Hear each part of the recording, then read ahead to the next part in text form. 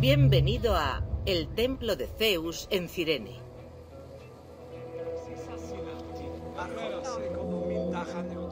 El templo dedicado a Zeus está orientado al este, hacia el sol naciente. Fue construido en algún momento del siglo V antes de la era común. Esta regia estructura de 70 metros de largo, con 46 columnas dóricas, fue el mayor templo griego erigido en África. Es solo un poco más grande que el Partenón y el templo a Zeus en Olimpia.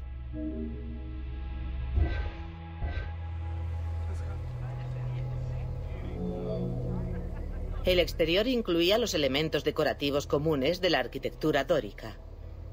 Las columnas tienen dimensiones variables, lo cual da a los visitantes la impresión de que cada fachada es distinta.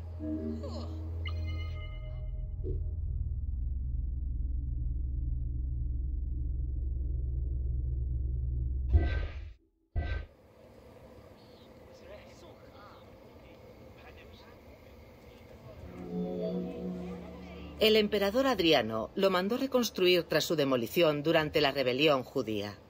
Decidió no volver a levantar el pórtico externo, pero sí hacer nuevas columnas corintias de mármol. El templo se completó bajo el gobierno de Marco Aurelio.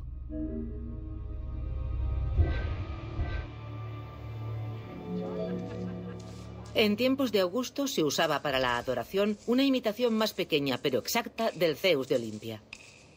Más tarde, Adriano instaló una estatua de 12 metros de altura, como el Zeus de Olimpia. Estaba hecha de mármol, con la cabeza, los brazos y los pies esculpidos en una sola pieza.